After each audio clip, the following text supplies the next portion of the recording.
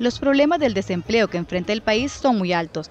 Se habla que cerca de 2 millones de personas se encuentran con empleos precarios. El, desempleo es aquella, aquella persona que realmente no encuentra ninguna actividad y el subempleo es cuando la persona está ocupada en una actividad para la cual no está formado.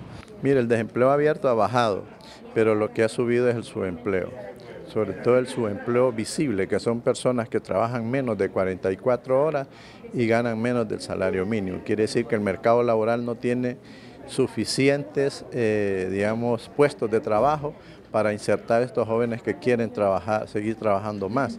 Para el doctor en economía, el subempleo lo que genera es el incremento de una economía informal que da como resultado empleos de corta duración. Si no hay, no hay, un trabajo formal, usted va a tener que buscar una economía informal.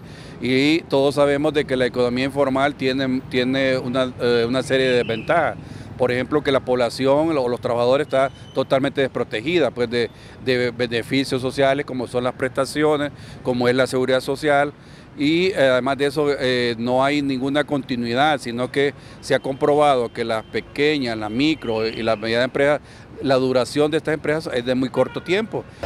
Según lo expresado por los expertos en economía y el Observatorio del Mercado Laboral de la Secretaría de Trabajo, este empleo por hora beneficia más a los jóvenes que buscan empleo para pagar sus estudios. Desde Notify le invitamos a fomentar una cultura por la paz con imágenes de Aníbal Recarte, informó Delia Arita.